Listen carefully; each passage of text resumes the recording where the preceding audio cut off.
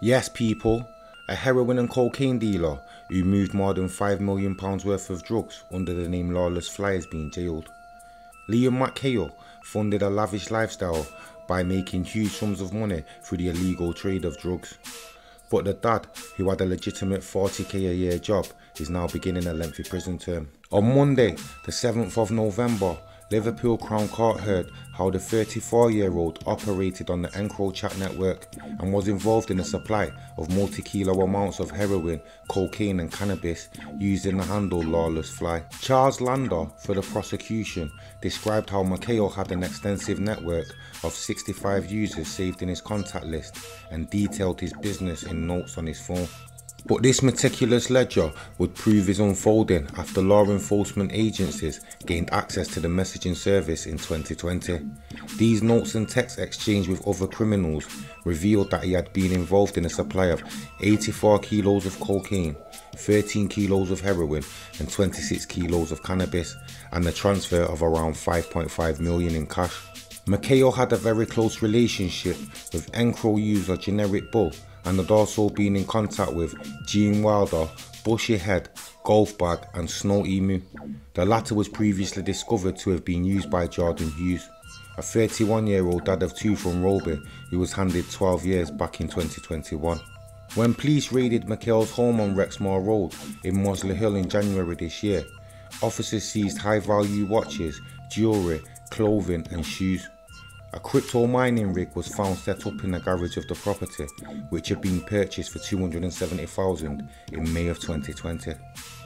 In messages, he spoke of buying a Rolex watch for 24 grand and bragged about joining an expensive golf club in Formby and shopping at a Louis Vuitton store. McHale, who has no previous convictions, had been working for a plastics firm but was furloughed during the COVID 19 pandemic, then moved to a 40k a year job as a telecoms engineer. David Birrell, defending, described his client as a broker and a middleman in the drugs trade.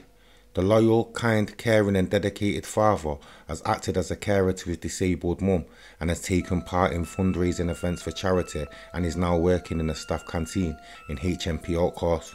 Mr. Birrell added, He is a hard working man, he is remorseful, he acknowledges he is an embarrassment to his parents, hard working people. McHale feels like he has let them down. He also feels like he has let down his partner and his little boy who is only 13 months old. The defendant will miss a significant period of his childhood. He has distanced himself from his previous associates. He says he will accept any sentence that comes his way, and when released, he wants to turn his life around above all for his son. McHale, who appeared in court via video link, admitted conspiracy to supply cocaine, heroin, and cannabis, and money laundering, and he was sentenced to 11 years. Sentencing Judge Kieran Rankin said, You were an important cog in this organisation. This was a sophisticated enterprise designed to sow confusion and difficulty for any investigating authority. You are of previous good character, which makes it all the more more astonishing to find someone like you in the position you are in. You are a well thought of intelligent man. You have been in employment in a good, well paid job. It reveals a rather unhealthy greed on your behalf. McHale could now be ordered to repay his illicit gotten gains under the Proceeds of Crime Act and will be brought back before the court next year.